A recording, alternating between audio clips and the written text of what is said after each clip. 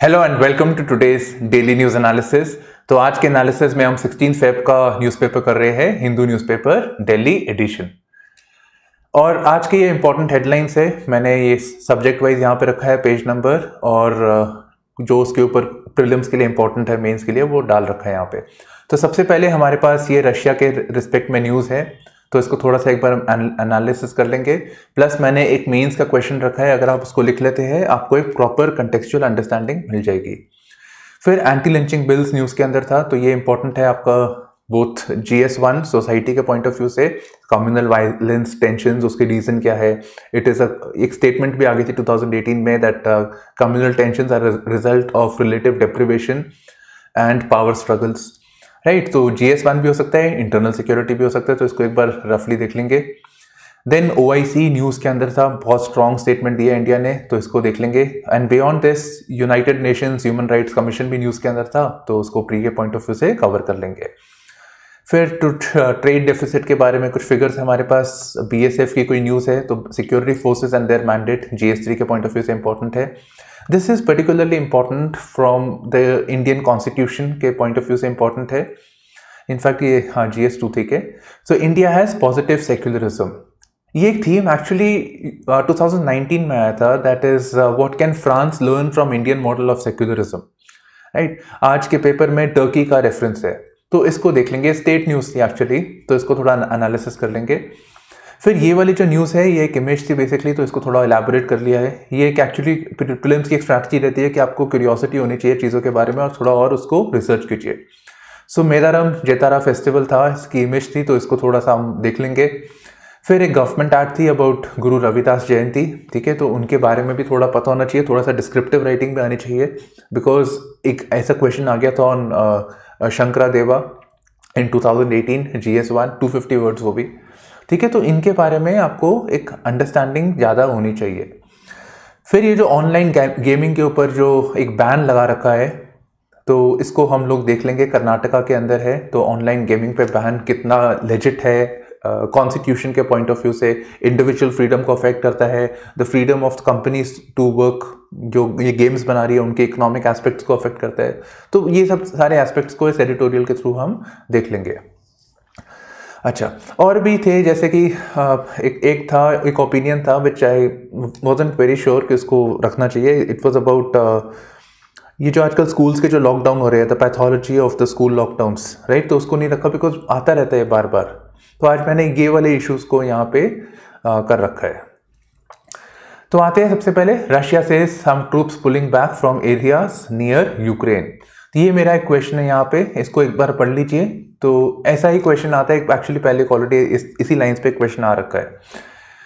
So explain the recent political developments on Ukraine Russia border and its impact on world politics with special reference to India ठीक है तो एक थोड़ी सी understanding होनी चाहिए उसका क्या इम्पैक्ट होगा इंडिया के ऊपर बाकी कंट्रीज़ पे फिर इंडिया पे भी। क्योंकि ये पेपर्स आपका पॉलिसी स्पेसिफिक रहता है तो उस हिसाब से आपको राइटिंग आनी चाहिए इसकी। तो मैं आपको एक बार थोड़ा सा मैप के पॉइंट ऑफ़ व्यू से बता देता हूँ। फिर जो बेसिक चीज़ें थी, जैसे प्रिंसिपल ऑफ़ इंडिविजिबिलिटी जो आज न्यूज़ में था तो उसको भी कवर कर लेंगे। हाँ जी तो ब्रीफली इसको देख लेते हैं। तो बेसिक कंसर्न ये है कि the West believes that Russia wants to invade Ukraine और ऐसा इसलिए because there is a buildup of military troops बहुत सारे ट्रूप्स यहाँ पे भर रखे हैं रशिया ने about lack of troops Russia, Ukraine के डॉनबास रीजन में और वहाँ से कह रहे हैं कि ये इन्वेड कर सकते हैं। और ऐसा हम इसलिए कह रहे हैं बिकॉज़ ये ऑलरेडी कर चुके हैं। 2013 2013 के एंड में ये लोग ऑलरेडी कर चुके हैं Russia part of Ukraine and they entered into the Donbas region एक हाइब्रिड वॉर किया था जिसमें मतलब सिविल पॉपुलेशन एक सिविल अनरेस्ट भी क्रिएट किया था प्लस मिलिट्री भी आ गई थी। तो इसलिए हाइब्रिड कहते हैं उसको तो आ गए अंदर यहाँ से। और क्रीमिया क्राइमिया का जो पेनिनसुला है, इसको अक्वायर कर लिया। ठीक है तो इन्होंने इसको अक्वायर कर लिया। इस पर इनकी पूरी नज़र थी। तो यहाँ से इन्होंने अक्वायर कर लिया यहाँ पे। तो ऑब्वियसली अगर अब कर सकते तो मतलब तब किया था तो अभी भी कर सकते हैं। अभी ट्रूप्स का बिल्डअप भी हो रखा है। तो इस इवेंट को बोलते हैं द वॉर ऑफ़ डॉनबास बाद में चले गए यहाँ से। यूक्रेन से बस ये सिविस्टोपोल का जो पोर्ट है, ये क्राइमिया का रीजन है, इसको रखा था।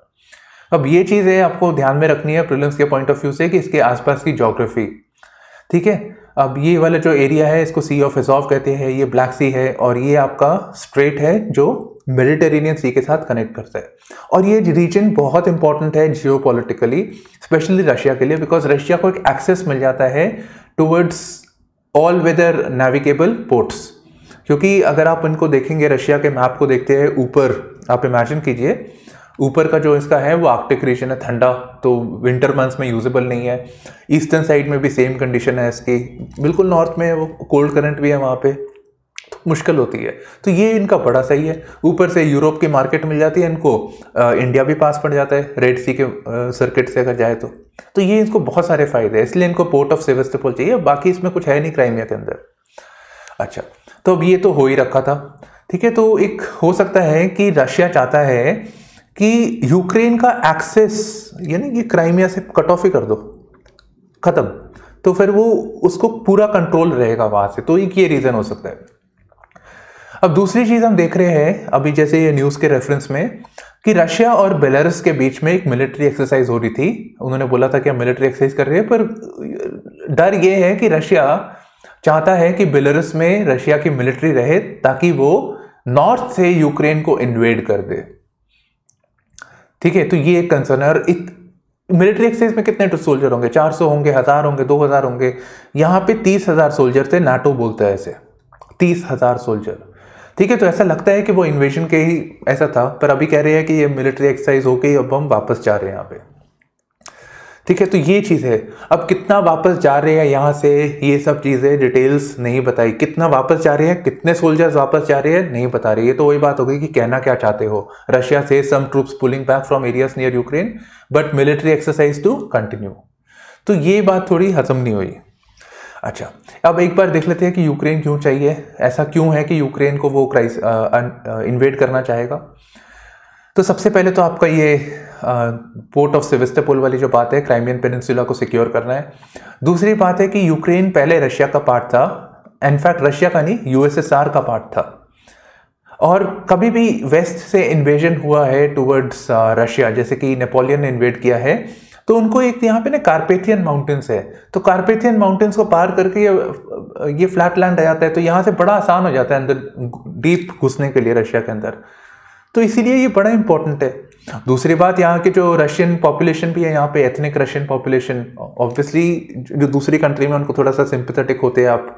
ये लोग भी थोड़ा, जो यूक्रेन के अंदर है, वो भी सिंपथेटिक है रशिया के साथ तो ये भी एक है। और कहते हैं कि जो कीव का कल्चर है मतलब जो रशिया का कल्चर है, वो कीव से आया है, जो यूक्रेन का कैपिटल है। तो बहुत क्लोज है यूक्रेन रशिया के दिल में। ठीक है तो ये चीज़ें हैं यहाँ पे। तो ये है आपके रीसेंट पॉलिटिकल डेवलपमेंट्स तो मैंने आपको वॉर ऑफ़ डॉनबास बताया था। वॉर ऑफ़ डॉनबास के बाद ये सिचुएशन कैसे नॉर्मल हुई? 2014 में मिन्स्क अग्रीमेंट हुई थी with the initiative of France and Germany और मिन्स का है बेलोरस का कैपिटल तो बेलोरस पे आ गया। ठीक है? तो फ्रांस जर्मनी फ्रांस जर्मनी हो गया आपका यूक्रेन रशिया मीटिंग कर रहे हैं मिन्स के अंदर। 2015 में भी हुआ था। और इसके चलते एक और एक ग्रुपिंग आ गई मिन्स्क के बाद, जिसको बोलते हैं नॉर्मेंडी फॉर्मेट जो ओवरसी करता है कि क्या इश्यूज़ चल रहे हैं। तो नॉर्मेंडी फॉर्मेट और नॉर्मेंडी कहाँ पे है? नॉर्मेंडी है फ्रांस के अंदर। अभी रिसेंटली कुछ टाइम पहले आ रहा था कि फ्रांस के जो प्रेसिडेंट है, वो जर्मनी जा रहे हैं यूक्रेन जा रहे हैं रशिया जा रहे हैं इधर उधर घूम रहे हैं। तो इसको बोल रहे थे शटल डिप्लोमेसी कि वो क्राइसिस रिजोल्व करने के उसमें थे। अब हम देख रहे हैं जर्मनी के चांसलर बात कर रहे हैं। तो बेसिकली फ्रांस जर्मनी और बेलारूस तो है ही है यूक्रेन रशिया ये सब इसमें इन्वॉल्व है। तो मिन्स्क अग्रीमेंट में कौन सी कंट्रीज़ है? नॉर्मेंडी फॉर्मेट में कौन सी कंट्रीज़ है? तो यही कंट्रीज़ है। यूके वगैरह कुछ नहीं है। ठीक है तो ये है। अच्छा अब इसके चलते रशिया बोल रहा है कि देखो, हमारे ना कुछ कंसर्न्स हैं। आप आप हमारे कंसर्न्स को नज़रअंदाज नहीं कर सकते। तो एक कंसर्न तो ये है कि आप लोग तो नाटो बना रखा है। नाटो तो भाई हमारे अगेंस्ट है डिज़ाइन हमारे अगेंस्ट कर रखा है। ये तो एक कोलिशन है ऑर्गेनाइजेशन है जो हमें इन्वेट कर सकती है। ठीक है? ये तो आपने यूएसए कोल्ड वॉर के टाइम पे बनाया रखा था। अभी क्या ज़रूरत है आपको?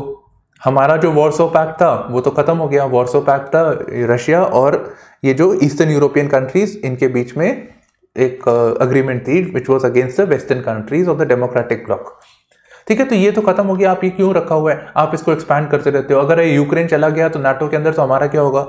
ठीक है, और आप हमारे बॉर्डर के पास आ जाओगे। तो दिस इज़ नॉट एक्सेप्टेबल यही एक डिमांड वो यूक्रेन के पॉइंट ऑफ़ व्यू से रख रहे हैं।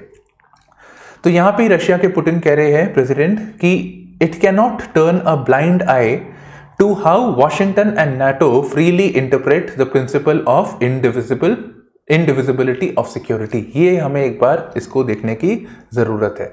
ये principle of indivisibility of security क्या है? ये एक बेसिक कॉन्सेप्ट है नाटो के पॉइंट ऑफ़ व्यू से कि एक कंट्री जो करती है, मान लो लैटविया करती है रशिया के साथ पार्ट करती है तो ये लिथुनिया की जो सिक्योरिटी है उसको कॉम्प्रोमाइज करेगी, क्योंकि वो रशिया के और पास आ जाते हैं।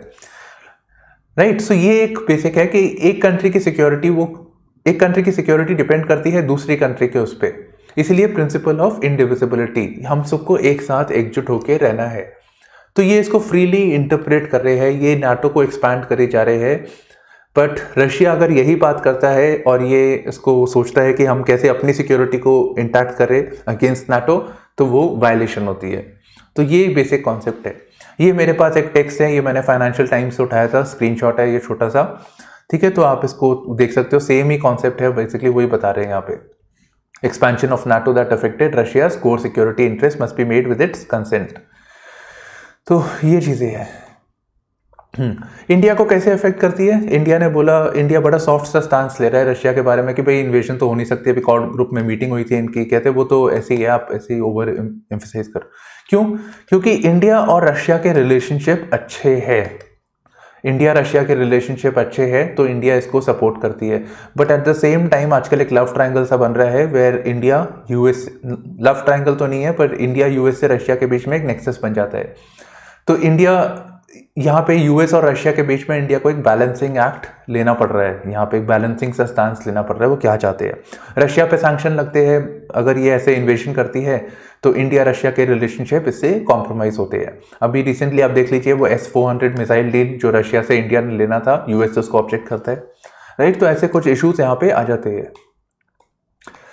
Okay anti lynching bills pass by four states hanging fire मतलब अभी हो रहा है नहीं हुआ है अभी पेंडिंग है बेसिकली तो इसमें से थ्री स्टेट्स तो आपके नॉन बीजेपी स्टेट है एक स्टेट आपका बीजेपी का भी स्टेट है। तो एंटी लिंचिंग बिल का अगर हमें कंटेक्स देखें तो अभी रिसेंटली 2016, 17, 18 बहुत सारे लिंचिंग के इंसिडेंट्स हुए थे। तो हम इसको मॉब मॉब वायलेंस कह लेते हैं। हम इसको मॉब वायलेंस ही हो गया लिंचिंग जो मॉब एक साथ एकजुट झुंड में आके एक आदमी को पकड़ के मार देते हैं। राइट तो ऐसे इंसिडेंट्स बहुत सारे हुए थे रिसेंटली सुप्रीम कोर्ट ने भी बहुत सीरियस स्टैंड लिया था और वो कह रहे थे कि डेमोक्रेसी बन रही है मोबोक्रेसी और ये आ गया था हमारे मेंस के पेपर में. आई थिंक 2017 18 भी इससे इन्फ्लुएंस था. ठीक है तो इसी के लिए ये ऐसी सिचुएशन ना हो एंटी लिंचिंग बिल बनाया जा रहा है स्पेसिफिक बिल ये स्टेट्स ने बनाया है. सेंटर बोलता है कि भाई क्या ज़रूरत है? ये वाले जो क्राइम्स है, ये एंटी लिंचिंग तो एक कैटेगरी ऑफ़ क्राइम है ही नहीं ऑल टुगेदर और इसको तो हम पनिश कर सकते हैं under the provision for murder Indian penal code में जो मर्डर के प्रोविज़न है, उसके अंदर हम डाल सकते हैं। सो सेक्शन 300 एंड 302 तो सेंटर इसको अग्री नहीं करता है यहाँ पे। तो ये चीज़ है, पर इसको हम थोड़ा और एक्सपैंड कर लेते हैं। The need for a dedicated law for lynching तो ये एक थीम हो सकती है जिसमें आप इसको सोच सकते हैं। दूसरी चीज़ है कि ये लिंचिंग होती क्यों है? राइट ये मॉब वायलेंस हो क्यों रहा है? उसके, ये है क्या? उसके कॉज क्या है? और उसको मिटिगेट करने के लिए क्या अप्रोच होनी चाहिए? क्या एक स्पेशल लॉ होना चाहिए? क्या पॉलिसी होनी चाहिए? ये आप इसके बारे में थोड़ा सा सोचिए। आपको थोड़े इंसाइट्स आते हैं, आप इसको कमेंट सेक्शन में भी बता सकते हैं। India slams communal mindset of OIC over remarks on the hijab row जल्दी से इसको करते हैं। हम हमारे पास आ, मैं छोटा सा बता देता हूँ। तो ये जो हिजाब का जो इशू हो रहा है स्पेशली कर्नाटका के अंदर कि हिजाब को उतारिए और ये सब चीज़ें मत मत पहनिए। तो ये एक ऑर्गेनाइजेशन है ऑफ़ इस्लामिक कंट्री ओआईसी वैसे ही नाम पड़ गया उस ऑर्गेनाइजेशन ऑफ़ इस्लामिक कोऑपरेशन ठीक है तो ये लोग बोल रहे हैं कि India needs to protect the rights of the Muslim people और उसको प्रोटेक्ट करने के लिए जो माइनॉरिटी के राइट्स है, उसके लिए इनको नेसेसरी मेजर्स लेने चाहिए। तो इसको बोल रहे हैं कि ये, इसको हम United Nations human rights council इसमें इसको टेकअप करना चाहिए है और ये इनको इंश्योर करना चाहिए ह्यूमन राइट काउंसिल को कि इंडिया करेक्टिव मेजर्स ले। ठीक है, ये यहाँ पे बात हुई यहाँ पे, इसकी। तो नेचुरली भाई ये तो थोड़ा और सिवियर बात हो गई यहाँ पे तो ये कह रहे हैं कि भाई इंडिया के अंदर हमारे पास कॉन्स्टिट्यूशनल फ्रेमवर्क्स है मैकेनिज्म है जजमेंट्स हो रही है। पहले की जजमेंट्स हैं हम उसी के बेसिस पे काम करते हैं। रूल ऑफ़ लॉ है हमारी कंट्री में। तो आप इसको इस, इतना भी मत करिए कि एक है एस्पेक्ट ह्यूमन राइट वायलेशन का बट ऐसा नहीं है ये जितना वो जिसके लिए कमीशन बनी हुई है। तो ये जस्टिफाइड नहीं है एंड ये कम्युनल माइंडसेट दिखा रहा है ओआईसी का। जैसे ये हो गया नाम भी इसका है ऑर्गेनाइजेशन ऑफ़ इस्लामिक कॉपरेशन तो इस्लामिक पॉपुलेशन जो है वर्ल्ड के अंदर उनके इंटरेस्ट के लिए ऑर्गेनाइजेशन बना रखी है। ठीक है तो ये बात है यहाँ पे। अब थोड़ा ओआईसी को देख लेते हैं प्रिलिम्स के पॉइंट ऑफ़ व्यू से। तो जैसे नाम है, वैसे ये इस्लामिक कंट्रीज़ जो है प्राइमरीली उनकी ये एक संगठन है। अच्छा अब इसका जो चेयर है, इसका जो मेन हेडक्वार्टर्स है that is in Saudi Arabia ठीक है? जो जैदा के अंदर इसका लोकेशन है। आप ये देख सकते हैं। अब यहाँ पे कुछ चीज़ें आपको ध्यान रखनी है। India is not a member of O I think Indonesia में लार्जेस्ट पॉपुलेशन ऑफ़ मुस्लिम्स है, उसके बाद सेकंड लार्जेस्ट इंडिया के अंदर है but India is not part of OIC तो एक चीज़ आपको यहाँ पे याद रखनी है। ओ अरेबिया के अंदर है, सऊदी अरब के अंदर है तो अरबिक कंट्रीज़ है बट इसके अंदर ईरान भी है। इनकी बनती नहीं है नॉर्मली इसलिए थोड़ा कभी कभी आपको आगे डाउट हो जाएगा। तो ईरान इसके अंदर है। ठीक है तो ये चीज़ें आपको थोड़ी सी इसको यहाँ पे ध्यान रखनी है। ठीक है, ये है। बाकी ये ओ ना इंडिया के अगेंस्ट बोलती रहती है specially with reference to Kashmiri Muslims कि उनके राइट्स उनके वो अफेक्ट हो रहे हैं यहाँ पे, और ये पाकिस्तान के इन्फ्लुएंस में है। तो Pakistan is also a member of OIC अब आते हैं ह्यूमन राइट्स काउंसिल के बारे में यूएनएचआरसी तो ये इंपॉर्टेंट है प्रिलम्स के पॉइंट ऑफ़ व्यू से हमें बताना चाहिए। हम बेसिक डिटेल्स की ये ह्यूमन ह्यूमन राइट्स काउंसिल करती क्या है is India member of not member of this you इसकी मेंबरशिप के लिए क्या कंडीशंस होनी चाहिए? तो ये सब चीज़ें पता होनी चाहिए आपको। ठीक है, अब जैसे ही नाम है कि ये ह्यूमन राइट्स के जो इश्यूज़ है, वो यूएन की एक डेडिकेटेड एजेंसी है जो ह्यूमन राइट के इश्यूज़ को देखती है। अच्छा अब यहाँ पे हमारे पास ट्विटर का एक गवर्नमेंट ऑफ़ इंडिया का था तो कहते हैं कि 2021 का है मतलब इंडिया इज़ अ मेंबर वो रिसेंटली इलेक्शन हुआ है मतलब इलेक्शन होते हैं इसके लिए। अच्छा अब इलेक्शन कैसे होते हैं? जो इसके मेंबर्स होते हैं, वो इलेक्टेड होते हैं इन वेरियस जोग्राफिकल ग्रुप्स मतलब ऐसा सिंपल इलेक्शन नहीं है कि आप खड़े हो, आप जीत जाओगे।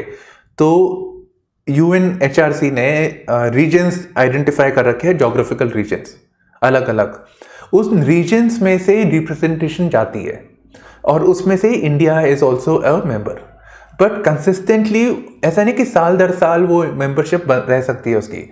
Members can not serve more than two consecutive years मतलब इस साल, पिछले साल हो गया, इस साल हो गया, अब अगले साल नहीं बन सकते।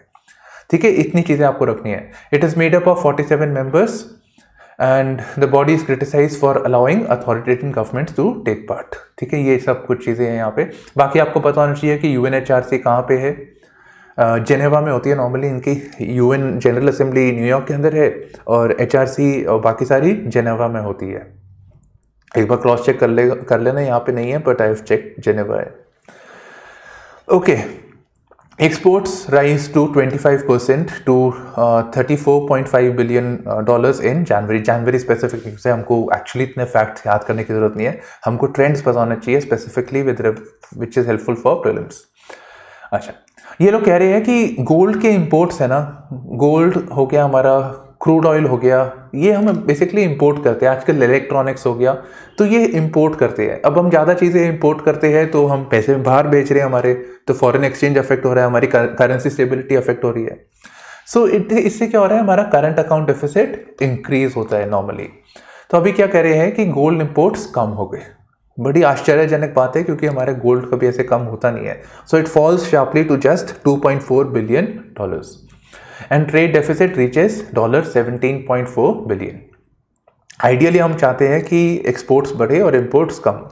और गवर्नमेंट तो हमारी ये भी चाहती है specially with prime minister Modi coming in 2014 से, काफ़ी सारे मेजर्स लिए गए हैं, जैसे कि sovereign gold bond scheme gold monetisation scheme तो ऐसी स्कीम्स ली गई है कि लोग गोल्ड खरीदने की जगह पे फाइनेंशियल इंस्ट्रूमेंट्स खरीद ले। गोल्ड की जैसे फाइनेंशियल इंस्ट्रूमेंट्स पेपर इंस्ट्रूमेंट्स खरीद ले रादर देन फ़िज़िकल गोल्ड तो ऐसे कुछ मेजर्स भी लिए गए हैं अंडर दिस गवर्नमेंट तो मेरे को लगता है कि यही अकेला टॉपिक ही काफ़ी है मेन्स के पॉइंट ऑफ़ व्यू से। अच्छा अब ये बात आती है भाई गोल्ड के इंपोर्ट गिर कैसे गए? ऐसा क्या हो गया? सोने की खदान तो अपने है नहीं, कोलार माइंस है, बाकी तो इतना कुछ है नहीं हमारे यहाँ पे तो ऐसा क्या हो गया? बेसिक चीज़ ये है, ये बेस इफ़ेक्ट का चक्कर है। तो 2020 में सबको पता है लॉकडाउन हो गया, शादियाँ वादियाँ बंद हो गई, ठीक है? तो शादियाँ नहीं हो रही थी तो गोल्ड भी नहीं खरीदा जा रहा था। तो 2021 आया, शादी का थोड़ा खुला मौसम आया यहाँ पे, लोग गोल्ड वोल्ड खरीदने लग गए खूब सारा उस टाइम पे तो बढ़ गया। अब उसके कंपैरिजन में देखोगे तो लगता है कि भाई गोल्ड की तो ट्रेड कम हो गया है एक्सपोर्ट इंपोर्ट कम हो गया है यहाँ पे। वो इसीलिए है बिकॉज़ यहाँ पे बहुत सारा गोल्ड लिया था। एकदम से जो पुरानी शादियाँ जो नहीं हो रही थी, आजकल भी आप देखो ना इधर उधर शादियाँ शादियाँ हो रही थी। तो उसकी वजह से ये आपका गोल्ड कम हो गया आपका। पर ऐसा कोई फंडामेंटल चेंज नहीं हुआ है इकोनॉमी में। ठीक है तो ये चीज़ है यहाँ पे। बाकी यहाँ पे एक्सपोर्ट्स की बात कर रहे हैं। एक्सपोर्ट्स हमारे बड़े हैं with reference to coffee petroleum products almost double in January अच्छा अगर पेट्रोलियम प्रोडक्ट्स के अगर हमारे एक्सपोर्ट बढ़ते हैं मतलब इंपोर्ट भी बढ़े हैं, क्योंकि हमारे पास पेट्रोल तो है नहीं, हम रिफाइन करके वापस आके बेच देते हैं। ये चीज़ रखनी है। अब कॉफ़ी के पॉइंट ऑफ़ व्यू से प्रिलिम्स के पॉइंट ऑफ़ व्यू से एकदम से अभी ध्यान आ रहा है। कॉफ़ी की दो वेराइटीज़ होती है एनसीआरटी में आपको बता रखा है अरेबिका एंड रोबस्टा तो इंडिया में सबसे ज़्यादा कौन सी मिलती है? कमेंट सेक्शन में बताइए। और अरेबिका रोबस्टा और इसके लिए एक कॉफ़ी प्रमोशन बोर्ड भी है। ठीक है तो क्या क्या स्टेप्स है? थोड़ा सा प्रिलिम्स के पॉइंट ऑफ़ व्यू से आपको पता होना चाहिए और ऐसी चीज़ें आती है बार बार। तो ये है। अच्छा एक चीज़ और बताऊँगा आपको। अभी रिसेंटली आया था कि ट्रेड डेफिसिट और बैलेंस की हमारा ट्रेड डेफिसिट बढ़ा है। ये पहले वाले के डेटा के हिसाब से कि ट्रेड डेफिसिट बढ़ा है। And we can fund this by we can fund this by the investments that are coming तो इसके रेफरेंस में ना आपको ये चीज़ पता होनी चाहिए ट्रेड डेफिसिट क्या है करंट अकाउंट डेफिसिट क्या है, इसका इम्पैक्ट क्या होता है जब ये बढ़ता है। और दूसरी चीज़ आपको पता होनी चाहिए the concept of balance of payment तो बैलेंस ऑफ़ पेमेंट बेसिकली कुछ नहीं है, जो भी खरीद जो पैसा जा रहा है और जो पैसा आ रहा है इन्वेस्टमेंट आ रही है, जा रही है, सब कुछ का cumulative effect is balance of payment और मैं इसलिए बोल रहा हूँ क्योंकि 2020 या 21 का पेपर है, उसमें बजट के ऊपर आ गया था कि बजट के अंदर एक रेवेन्यू एस्पेक्ट होता है कैपिटल होता है। उसके वेरियस कंपोनेंट्स बताओ। ऐसे ही क्वेश्चन आ सकता है बैलेंस ऑफ़ पेमेंट के बारे में। ओके दिस इज़ ड्रग ये कफ सिरप के अंदर होता है तो स्कूलों वूलों में बड़ा होता था वैसे। So smuggling a challenge for BSF तो ये एक बार ये देख लेते हैं फेंसेडाइल क्या है? तो Phensedyl is a codeine based cough syrup ठीक है? तो ये जो इस्लामिक कंट्रीज़ है बांग्लादेश हो गया अब बांग्लादेश की बात करते हैं बांग्लादेश के स्पेसिफिक ये न्यूज़ है। तो यहाँ पे ड्रग्स वगैरह अलाउड नहीं है तो ये लोग कफ सिरप के पॉइंट में जो चीज़ें हैं मेडिसिन में हैं, उनसे ये लोग अपनी ड्रग्स वगैरह का कर रहे हैं। अच्छा अब एक बार इसको, ये बहुत बड़ा प्रॉब्लम है यहाँ पे, ठीक है? अब वापस आ जाते हैं बीएसएफ के बारे में और इसको थोड़ा प्रेलिम्स के और मेंस के पॉइंट ऑफ़ व्यू से देख लेते हैं। तो बीएसएफ एक डेडिकेटेड एजेंसी है. It is a central armed police force कभी कभी पैरामिलिट्री फोर्स भी कह देते हैं. मतलब ये एक आर्मी नहीं है. जैसे हमारी defence army army air force navy होती है, वैसी नहीं है. एट द सेम टाइम ये पुलिस भी नहीं है. ये बीच में आते थोड़े से. ठीक है? तो एक टॉपिक है एक्चुअली इसलिए बता रहा हूँ आपको security forces and their mandate तो इनका काम है आपको ये एक्चुअली डिस्क्रिप्टिव पता होना चाहिए कि बीएसएफ है, आपका सीआईएसएफ है अलग अलग एजेंसीज है, इनके बारे में थोड़ा सा आपको लिखना आना चाहिए। तो बीएसएफ या Indian Indo Tibetan police force भी ले सकते कोई भी फोर्स अब जैसे बीएसएफ है आपका तो ये इनका काम है कि they secure the borders of Pakistan and Bangladesh ये चीज़ें पता होनी चाहिए। Borders of Pakistan and Bangladesh अब क्योंकि बांग्लादेश के रेफरेंस में थोड़ा पानी वानी भी आता है तो they have a marine the navy river water unit also तो इनका एक ये भी है एडिशनल ठीक है तो ये एक डेडिकेटेड एजेंसी है जो पाकिस्तान और बांग्लादेश के एस्पेक्ट देखती है। लाइकवाइज चाइना के रेफरेंस में हमारे पास Indo Tibetan border police force है। तो स्पेसिफिक बॉर्डर स्पेसिफिक है। ठीक है तो वन बॉर्डर वन फोर्स एक 2004 में कमेटी आई थी जिन्होंने रेकमेंड किया था कि एक बॉर्डर के लिए एक फोर्स होनी चाहिए जो अपनी एक्सपर्टीज बढ़ाए उस बॉर्डर के स्पेसिफिक और क्या करते हैं लोग? नेचुरली टेररिज्म आ सकती है स्मगलिंग हो सकती है ट्रैफिकिंग हो सकती है तो इन सबको रोकने के लिए इनका काम है। और इन सबको रोकने के टाइम में दे लोग एक तो बॉर्डर पे निगरानी रखते हैं एट द सेम टाइम इनको सपोर्ट चाहिए लो, लोकल लोगों का कम्युनिटी इंटेलिजेंस कम्युनिटी पार्टिसिपेशन चाहिए तो कम्युनिटी के साथ भी इनका एंगेजमेंट रहता है तो पुलिसिंग फ़ंक्शंस भी इनके रहते हैं। ठीक है तो ये कुछ चीज़ें हैं इनके बारे में पता होनी चाहिए। अब एक बार वापस आ जाती है तो security forces and their mandate आना चाहिए क्वेश्चन था कि बॉर्डर मैनेजमेंट में बहुत चैलेंजेस आते हैं और इस रेफरेंस में आप बताइए कोई दो सिक्योरिटी एजेंसीज के बारे में और वो क्या क्या काम करती है, कोई भी दो। तो एक ऐसा आ सकता है, मैं कहता हूँ कि बीएसएफ पे आ जाए तो आप क्या करोगे? तो एक छोटा सा नोट आपके पास होना चाहिए कि बीएसएफ क्या है आईटीबीपी क्या है सीआईएसएफ क्या है, और उसके बारे में तीन चार लाइन लिखनी आनी चाहिए, क्या क्या करते हैं दूसरी चीज़ है, और ये बहुत इंपॉर्टेंट है बॉर्डर मैनेजमेंट इतना कि मैंने नॉर्थ ईस्ट के रेफरेंस में भी डायरेक्टली नहीं देखा कि नॉर्थ ईस्ट में इंसर्जेंसी क्यों होती है, पर बॉर्डर मैनेजमेंट पे बार बार क्वेश्चन आ जाता है। ठीक है तो बॉर्डर मैनेजमेंट एक बार बार एक रेकरिंग थीम है, जिसमें आपको पता होना चाहिए तो ये भी एक बॉर्डर मैनेजमेंट का ही इशू है। India has positive secularism petitioner tells Karnataka high court हाँ जी। तो बेसिकली ये जो हिजाब की कंट्रोवर्सी हो रही है आजकल तो ये कोर्ट में चला गया है केस ठीक है? तो कर्नाटक हाई कोर्ट के अंदर। एंड वहाँ पे जो लोग फेवर में हैं पिटिशन के बारे, ये हिजाब, ये जो फ्रीडम्स के बारे में है बेसिकली दे आर सेइंग कि देखो ये हमारे कंट्री में ना पॉजिटिव सेक्युलरिज्म है। अब आप बताओ, बोल दो कि भाई स्कूल के अंदर यूनिफॉर्म पहनना है तो इसका मतलब ये नहीं कि आप हिजाब नहीं पहन सकते या बेसिक चीज़ें जो रिलीजन से रिफ्लेक्ट में है, वो अलाउड होना चाहिए। हमारी कंट्री इसको अलाउ करती है। हमारे अंदर है पॉजिटिव सेक्युलरिज्म तो इन्होंने कंपैरिजन कंपैरिजन किया है विद टर्की कहते टर्की ने भी ऐसा किया था। टर्की कहती है कि भाई अगर आपको स्कूल में आना है या पब्लिक प्लेसेस में आना है तो आप अपनी रिलीजियस आइडेंटिटी रिफ्लेक्ट नहीं कर सकते तो आप ऐसा कुछ नहीं पहन सकते। So that is reflective of negative secularism और नेगेटिव सेक्युलरिज्म फ्रांस के अंदर भी देख सकते हैं हम लोग, जहाँ स्टेट कहता है कि भाई हमको रिलीजन से कोई लेना देना नहीं है। पब्लिक प्लेसेस हो, कहीं पे भी हो, आप ये रिलीजन रिलीजियस सिंबल वाली चीज़ें नहीं पहन सकते। वहाँ तो हिजाब बैन कर दिया था, बुरकी नहीं बैन कर दिया था। In fact there was an issue also with reference to Sikhs मेरे को पक्का अभी प्रेजेंट मोमेंट नहीं याद। बहुत पहले की बात है कि सेक्स भी जो है, जो पटका वगैरह पहनते हैं स्कूल के अंदर, वो नहीं पहन सकते, क्योंकि रिलीजियस सिंबल है वो। Right so that is not allowed in France so this is again a reflection of negative secularism India India के अंदर है पॉजिटिव सेक्युलरिज्म नेगेटिव सेक्युलरिज्म है एक की रिस्ट्रिक्शन है, आप ये नहीं कर सकते, ये नहीं कर सकते, ऐसे।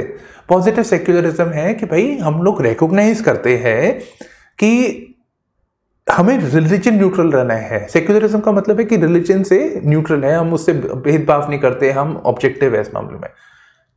पर ये कह रहे हैं कि रिस्ट्रिक्शन होगी। यही वाला जो है हमारा पॉजिटिव है। वो कह रहे हैं कि हमारी जो सभ्यता है हमारा जो मॉडल है वो पहले से चलता आ रहा है वैदिक ट्रेडिशन से। सो so, वो है सर्वधर्म संभव। दैट इज़ को एग्जिस्टेंस और possibilities of all religion everybody can coexist जो रिलीजन है, जैसा है, वो वैसा रह सकता है। और इसमें state plays a role of enabler तो एक तो ये चीज़ है। दूसरी चीज़ यहाँ पे ये है, अब ये चीज़ इंपॉर्टेंट है बिकॉज़ हमारी कंट्री में इतनी डाइवर्सिटी है और कोई एक्सट्रीमिस्ट भी है, कोई मॉडरेट फिलोसफी का भी है तो सबको एक तरह से एक ब्रीदिंग रूम मिल जाता है लिव एंड लेट लिव के हिसाब से। सर्वधर्म संभव, आप वासुदेव कुटुंब, कुटुंबकम भी कह सकते हो कि the world is one village तो you have to you know if the diversity को आपको अकोमोडेट करना चाहिए, ये नहीं कि रिस्ट्रिक्शन करते रहो। तो ये हमारा एक मॉडल है यहाँ पे। तो एक चीज़ ये है and the state play can play a positive role the state can play a role यहाँ पे state can not play a role but यहाँ पे state can play a role and state plays the role of an enabler so enabler role for religious freedoms of all communities तो ये important है। अब ये question इसलिए actually आया था बिकॉज़ फ्रांस के अंदर ना बहुत सारे इंसिडेंट्स हुए। स्पेशली अब ये माइग्रेंट क्राइसिस हुआ है Islamic population has increase so बहुत सारे इंसिडेंट्स हुए हैं। जैसे कि चार्ली हेब्डो केस हो गया उन्होंने वो प्रॉफिट की प्रॉफिट मोहम्मद की फ़ोटो बना दी थी, वहाँ पे इमेज बना दी थी, जो अलाउड नहीं है। उसकी वजह से हुआ था। इंडिया में ऐसी चीज़ें नहीं होती। लाइक वाइज एक यूएस का एक डिप्लोमेट था फ्रांस के अंदर, वो वो वापस आए ना जब यूएस में तो कहते हैं कि भाई फ्रांस में बहुत प्रॉब्लम होने वाली है, पर इंडिया और यूएस से बहुत वेल सूटेड है because we have positive secularism right तो ये एक इंपॉर्टेंट आइडियाज़ है जो मैं आपसे शेयर करना चाहता था। अब जल्दी से आते हैं अबाउट दी ये जो हमारा फ़ोटो सा था इमेज थी यहाँ पे। तो devotees carrying jaggery ladies you can see they are carrying jaggery मतलब गुड़। ठीक है तो ये जा रहे हैं to worship tribal deities at the four day Medaram Jatara festival in Mulugu district of Telangana ठीक है, अब ये चीज़ें आपको पता होनी चाहिए प्रिलिम्स के पॉइंट ऑफ़ व्यू से सम बेसिक डिटेल्स अच्छा jaggery which is equal to their weight बहुत वेट हो गया तो नहीं? अच्छा तो थोड़ी सी एडिशनल चीज़ें यही आपका सिंपल आप देख लीजिए नेट से ही है आराम से। तो मेदाराम चथारा तो ये एक्चुअली एक स्टोरी uh, है about its it commemorates the story of fight of a mother and a daughter माँ बेटी जिनका नाम है समक्का एंड सरलम्मा। ठीक है मैं मैं ना यहाँ मेरे को एग्जैक्ट प्रोनाउंसिएशन इसकी आती नहीं है सो डोंट माइंड प्लीज़ ठीक है तो इनके, इन दोनों के बारे में है तो इनकी एक स्ट्रगल हुई थी विद द किंग ठीक है तो ये ट्राइबल्स को रिफ्लेक्ट करते हैं तो king may be the person with the civilisation क्या क्या क्या कहना कॉन्ट्रोवर्सल हो हो जाता है। तो किंग है basically who was fighting and fighting against the they were resisting against the they were tribals and resisting against the king ठीक है सो ये इनके बारे में स्ट्रगल को रिकॉग्नाइज करता है यहाँ पे। So local tribal deities are worshipped over there कौन सी tribal deities Sammakka and Saralamma अच्छा। And it is in the Medaram village of Telangana और जथारा होता है मतलब लोग आते हैं, खूब सारे आते हैं, कुंभ मेला के बाद कहते हैं कि ये सेकंड ऐसा है जिसमें largest number of devotees are there in the country और इसमें लोग बंगारम, ठीक है, बंगारम उठा के लेके जाते हैं। जिसको बंगारम का लिटरल ट्रांसलेशन होता है गोल्ड पर ये गोल्ड जो शब्द है, वो एक्चुअली बंगारम है शब्द जो जागरी के लिए यूज़ किया जा रहा है। पर इसका लिटरल मीनिंग है गोल्ड ठीक है तो ये चीज़ आपको थोड़ा सा बेसिक इसके बारे में पता होना चाहिए। रट्टे मारने की ज़रूरत नहीं है, बस अगर बेसिक आइडिया है तो हो जाता है। अच्छा ऑनलाइन गेमिंग तो ऑनलाइन गेमिंग के ऊपर एक रिसेंटली बैन हो गया था तो कर्नाटका के रेफरेंस में है ये। तो इस रेफरेंस में अब ये एक कॉन्स्टिट्यूशनल इशू हो जाता है, कि इंडिविजुअल फ्रीडम्स को अफेक्ट अफेक्ट कर रहा है राइट और भी चीज़ें हो जाती है इसके अंदर तो इसको एक बार देख लेते हैं। तो बेसिकली कर्नाटका ने कर्नाटका ने ऑनलाइन गेमिंग को बैन कर दिया। आजकल बहुत सारी ऑनलाइन गेमिंग आ रही है। तो कहते हैं, देखो भाई ये जो गेमिंग वेमिंग होती है, इतने सारे बच्चे, हमारे बच्चे इन्फ्लुएंस हो जाते हैं अडिक्शन हो जाती है इससे। अभी वो एक ब्लू वेल चैलेंज पे आया था, जिसमें बच्चे सुसाइड कर रहे थे, एक दूसरे को मार रहे थे। कहते ये बहुत गलत सलत चीज़ें हो जाती है इससे तो हमें इसको पूरा ही बैन कर देते हैं। पूरा बैन कर देते हैं इसको। ठीक है तो ये एक प्रॉब्लम है। तो कह रहे हैं बेटिंग हो सकती है बेटिंग हो सकती है एडिक्शन हो सकती है इससे, और अनड्यू बैड इन्फ्लुएंस हो सकता है। अब यहाँ पे हम देख रहे हैं कि स्टेट एक पैटर्नलिस्टिक रोल रह रहा है कि भाई हम बताएँगे आपको क्या करना है, क्या नहीं करना है। हम आपका ध्यान रखेंगे, आप टेंशन मत लीजिए। कुछ ऐसी कोई बात हो जाती है यहाँ पे। सिटीजन्स को वो फ्रीडम नहीं है, पर हम बताएँगे आपको। तो ये ये वाली बात आ जाती है यहाँ पे। अच्छा अब ऐसा अगर हम यहाँ पे देखें, अब यहाँ पे प्रॉब्लम है कि आपने सारे गेम्स को बैन कर दिया। आपने सारे गेम्स को बैन कर दिया। अब कुछ गेम है जो स्किल बेस्ड है। अब ऑनलाइन क्रिकेट का गेम है वहाँ पे। या कोई और गेम है कैरम का गेम है। अब उसको भी बैन किया आपने? सारे, अगर वो वो तो बैटिंग नहीं कर रही, यहाँ पे बैटिंग नहीं इंकरेज कर रही राइट तो गेम ऑफ़ स्किल्स ऐसी चीज़ें बैन करना ये सही नहीं है। यहाँ पे गेम ऑफ़ स्किल्स भी बैन हो गई रादर देन जस्ट जिसमें एलिमेंट ऑफ़ बैटिंग है, आप उनको बैन कर लेते। अच्छा अब आपने यहाँ पे एक ऑल पूरा एक मीडियम ही बना दिया कि भाई जो ऑनलाइन मीडियम पे है, हम उसको बैन कर देंगे। जो भी ऑनलाइन मीडियम में है। अब बेटिंग तो भाई ऑफलाइन में भी हो सकती है पोकर तो ऑफलाइन भी खेला जा सकता है, जुआ भी ऑफलाइन खेला जा सकता है, ऐसा कोई बात नहीं है। तो ऑनलाइन ही क्यों? तो मीडियम बेस्ड रेगुलेशन हो गया which is again not appropriate अच्छा लेजिटिमेट बिज़नेस हो सकता है किसी का किसी का राइट है कि वो इन्फॉर्मेशन रहे एक्सप्रेस करे एंटरटेन एंटरटेनमेंट का, लोगों का अपना राइट है, लोग एंगेज करना चाहते हैं तो उतनी फ्रीडम होनी चाहिए लोगों के पास। अच्छा जो लोग काम करना चाहते हैं, उनका आर्टिकल 19 अफेक्ट हो रहा है the freedom to conduct its economic activities the freedom of a person to express play entertain whatever that person wants to engage वो आर्टिकल 19 में आ जाता है तो वो अफेक्ट हो रहा है इंडिविजुअल फ्रीडम्स राइट तो ये कुछ इश्यूज़ हैं यहाँ पे which needs to be looked into right then so this basically concludes आज का जो हमारा डेली न्यूज़ एनालिसिस है. So this is it from my side bye bye take care and all the best.